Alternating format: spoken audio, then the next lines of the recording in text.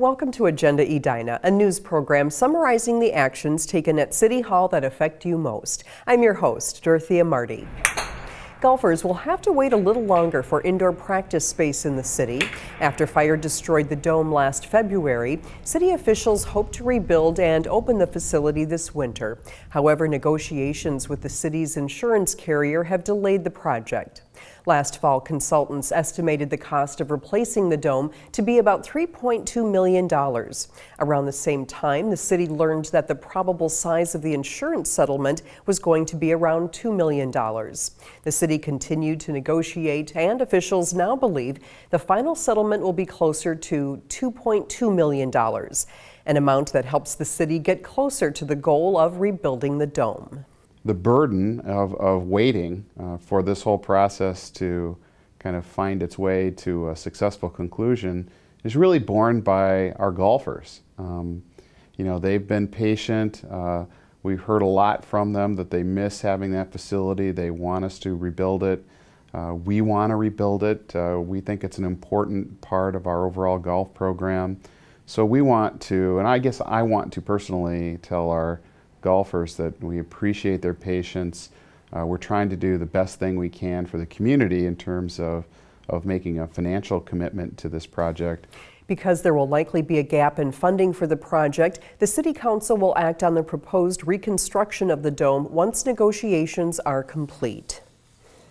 Good news on another favorite space in Edina. This year, Countryside Park is getting a facelift.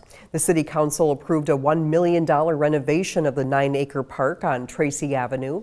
The master plan, driven by input from neighborhood residents, includes new handicapped accessible playground equipment, a larger outdoor skating rink, a new shelter building, and relocated basketball court. Residents can look forward to a very different looking park. Um, the prep ball field will be completely renovated uh, with new fencing, new infield, new outfield, new dugouts.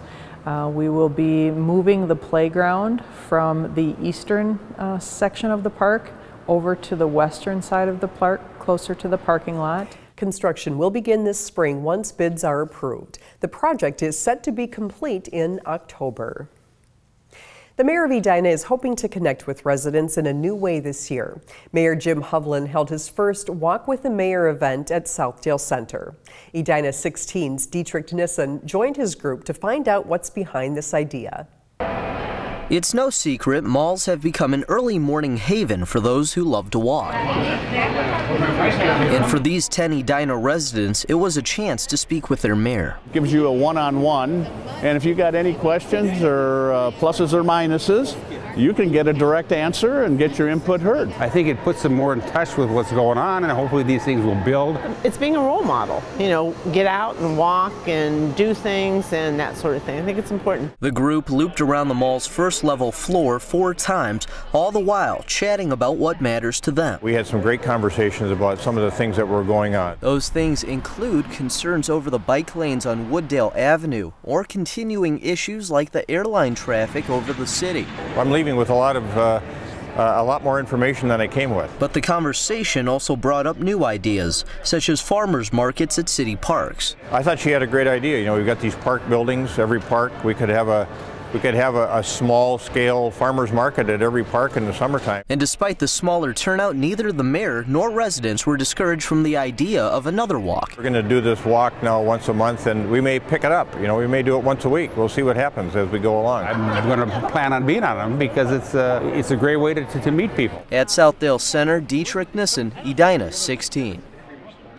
The mayor plans to have a walk at 9 a.m. every third Saturday of the month at a different location in Edina. The next walk with the mayor will be held February 16th and is tentatively scheduled for the Galleria. Thanks for watching this episode of Agenda Edina. I'm your host, Dorothea Martti.